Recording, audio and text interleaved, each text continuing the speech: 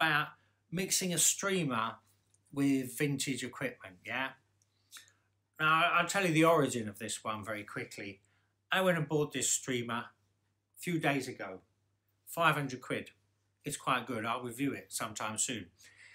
When I was there in this shop, and I was just I was just looking at the price of things, and I was thinking to myself, someone coming in buying a streamer and amp and speakers, it'd be so expensive. Now the thing is, if you've got a streamer, you've that is one item that you can pretty much rely on. So that's one thing that's set. It's not going to be problematic and it doesn't have any funny sound characteristics. It's not bright or this or that, you know, it's going to be okay like that. So they only leave us with two things to spend your money on. And if you were to say just buy a vintage pair of speakers, you know, you could be saving an awful lot of money. You know, you might you might land up with an, uh, you know, a thousand pounds in your pocket if you like that type of thing. Do you know what I mean? You can save a lot of money. So this is what was struck me to make this video, to be honest. I thought like, oh God, you could walk in here and spend five grand and it would probably sound quite good. Probably. But my God, you know, I know I can make a, get a nice amp and speakers for like six hundred pounds if the right one. You know, you have to know what you're doing to pick the right ones. But if you're only picking speakers, you're only picking an amp you can't, you know, and you you're not going to go that far wrong, yeah. And you won't be making huge financial investments. You know, if you're only spending a couple of hundred quid, a couple of hundred dollars on each one, it could be a really good thing. So anyway, let me let me just actually quickly say something about the market of vintage equipment, yeah, because something funny is going on in this world of vintage stereo, where people seem to think that if it's really old and really rare, then it's really good. And they'll call that vintage, you know. Well, you know, this isn't true. As most speakers in the 60s say, most, they just weren't very good. They hadn't really got that good, most of them. And if it's rare, then what's that? You know, it means that uh, no one really wanted it or something. So it's not the world of Tutankhamun, right? It's not the world of Rembrandt or uh, Rococo furniture, yeah? You don't want, if it's really old and really rare, it might be a load of rubbish and no one wants it. Generally speaking, stereo, vintage stereo, you might say starts in the early 70s and upwards, yeah? So I just wanted to clear that out. Okay, um, let's just, okay, let's talk about what you do if you've got a vintage amp and vint and old new speakers, sorry, vintage amp, new speakers. What are the advantages of that? Well, one advantage for sure, yeah, if we look at this, which is you know, a super desirable bit of vintage kit. This is probably around £300, $400, something like that.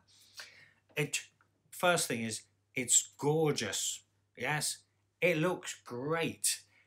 Most 500 pound amplifiers, they don't look at much, you know, they have to do this minimalist look, which is the only, which is because it's cheap, really, do you know what I mean?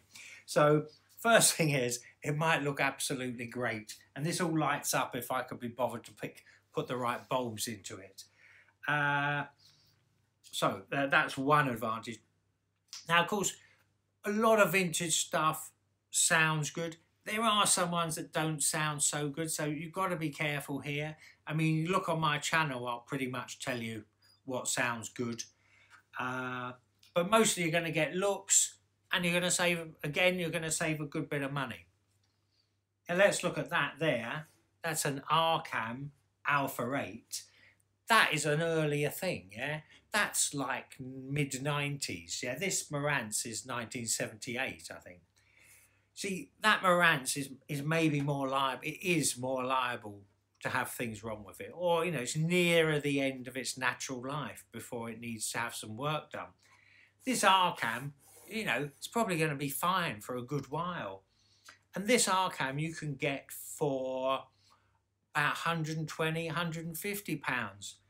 50 watts, and it's got a nice phono stage in it, yeah? all old amps have nice phono stage, certainly from the 70s. Getting into the late 80s, they started to lose them because CD came out. This Arcam has a phono. This has a. This is uh, 38 watts a channel, by the way. Uh, but you know, 120 pounds. It's a nice bit of kit. I don't actually love the sound of this myself because I'm a super fusspot, but uh, it is a good bit of kit. You know, with a phono stage, modern equivalent, maybe five, six hundred pounds, five hundred pounds, something like that. This, and when I say the sell for, sells for around three hundred pounds. If you go on eBay and you're looking to buy things, watch out for these buy it now things, yeah? Most of those buy it now prices are just hopeful things and people put them on for $795 and they sit there for a year and nobody buys them or most times no one buys them so you want to do the you want to be in an auction if you're going to get anywhere near a, a, good deal. Most buy it now prices are just you know just pie in the sky you know just hopeful things most of them they don't care if they sell them or not okay so let's now the better idea, the even better idea, I would say, is modern amp, you know, because you might already have one, and vintage speakers.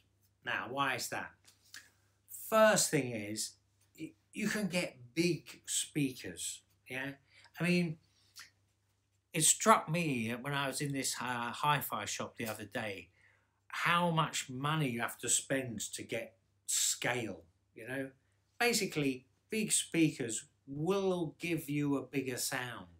This, you know, put it put simply, it's almost impossible for little speakers to really give a big scale sound. And for big speakers, it's just kind of what they do. Do you know what I mean? Just how they do it. So let's have a look. Uh, so what am I saying? I'm saying good idea, modern amp, vintage speakers. If they're big, you might have to travel to get them. Yeah. It'll only be one journey, and that'll probably make it cheaper. You know, the more hard to get at speakers are, the lower the price. If you're in a capital, middle of London, middle of New York, you'll get probably a better price for your big speakers. Still, someone has to come and collect them. Uh, but if you're like, you know, 100 miles from New York, those speakers will almost certainly cost less, you know. Same in England anywhere, you know. So that's where you can get bargains with big speakers. Let me just tell you what we've got here. Uh, Bowers and Wilkins DM4. Got those £35, about $180 uh, recently. Really good, really good. You know, really enjoy them. All I did was tighten up those screws. Yeah, I actually rotated it and then tightened up the screws a lot of old speakers, the screws get loose, the bass driver isn't solidly held. It's really bad news. You've got to tighten them up. Yeah? Not like the Hulk, so you strip the thread, just tighten them up. You know, it's a win-win that. They don't want to be loose. Uh, I've been playing these with comparing to ELAC Debut 6.2 if you know those, which are recent speakers, they're £300 new. I mean, these just win. These just beat them. They're more pleasurable. The, vo the vocals are better. It's more cohesive. You know, it's just a win. You know, just definitely better. Those uh, Monitor Audio MA4 uh, Mark II, they're probably late 70s, mid 70s, late 70s you know, really, you know, quality bit of kit. Silk dome tweeter, nice box, got some bracing in it, well engineered, you know, higher end of the range in those days. There's a really big magnet on there, you know, that's always good. Sounds great. Cost those cost me hardly anything like 50 pounds. I got one pair, I think 45, and I got another pair for 80. It was about four years ago. Uh, so, you know, but oh, let me tell you, when I bought these two pairs, the second pair, one of the tweeters didn't work. So I had to buy another pair of speakers on eBay, old, original tweeters, and swap them over. So, you know, that happens. That happens. But it's not. That's not a hard thing to do. You didn't even have, I didn't even have to do any soldering. Yeah. Um, and then I've got two pairs of speakers for like two hundred pounds that are really like equivalent thousand pounds. You would say you get a real big, impressive sound out of those. So uh, they, you know, that's kind. Is that kind of it? Is that kind of it? Or you know, you, you don't have to have one or the other. You can have both vintage. But I'm thinking that there are people that are tentative or don't know, modern people, you know, and they've got a streamer, but they, they don't want to spend two thousand, you know, a thousand pounds on an amp and a thousand pounds on speakers. They could spend buy one of those things and get a, a vintage pair of speakers for like two hundred pounds, and you could be an absolute result. Yeah. I mean, it's got to be careful, but it, you know, things are like you know, some of those things are like five times less expensive than they would be new. Um, yeah, okay, that's it, that's it. So I think it's a really good idea. You've got problematic, non-problematic source, and then just try one of those things as a vintage, and you could save yourself some money and get some gorgeous looks. Yeah and don't let that salesman sell you cables for 200 pounds yeah i went I, I had to buy these things this i couldn't even go in the shop because of the covid whatever it's of the, the you know the, the pandemic. Even then he was going have you got have you got cables though for this? Have you got cables? I, he wasn't allowed in the shop. He was still trying to sell me cables